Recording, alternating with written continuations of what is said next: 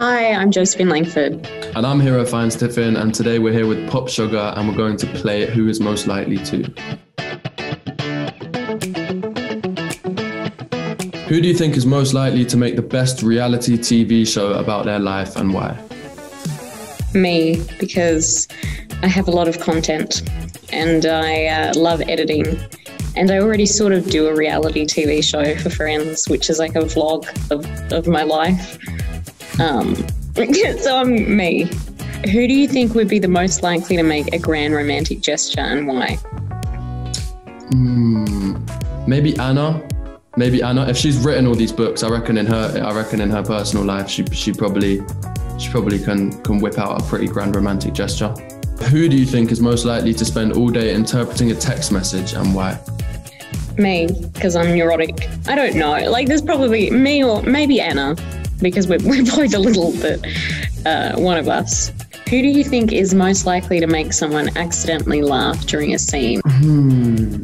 I'm gonna go with Dylan. I think he can take funniest guy on set, so I'll give him that. And why? Yeah, just because he is probably, in my eyes, the, probably the funniest guy on set. Who do you think would be most likely to read or write fan fiction, and why? well, if we can, if we can keep choosing Anna, then I'm just gonna go with her. Oh, it's got um, again, surely. uh, cool. Pia, because I think Pia actually wrote something. So, uh, um, yeah, uh, Pia. Who would you say is the most likely to pull a prank or just be the biggest troublemaker on set and why? I think we're all pretty professional. I don't think any of us are into the tomfoolery and the those shenanigans. Yeah. I don't no, know why I'm Sam's popping. There's no standout, but I would say who do you think's the who do you think's the most likely to I guess make a joke then? To make a joke. Or to um, you know step out of character and deliberately do something that's only going to make a blooper or Maybe no. Uh, maybe Could be. Uh, Dylan. Dylan yeah, or Sam. I'd say you or Dylan. I reckon. Who do you think is most likely to be found listening to One Direction and why? It's got to be Anna again, surely.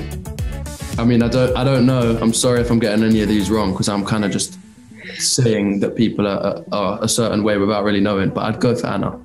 I think it's more subjective. I don't think there's an objective right or wrong with this, to be honest. But um, yeah, I'd agree. Who would you say would be most likely to perform on Broadway and why? Pia can sing, like actually sing. So I think that, and Sam can also sing. Uh, does it count, or do I have to pick someone who's not a who's not a singer?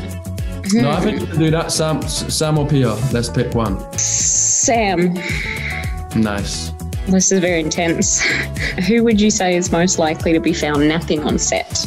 I don't really nap much, but when we do those night shoots, I could go kip in a corner for a bit if I don't have to be on set for too long. So I'll take that one.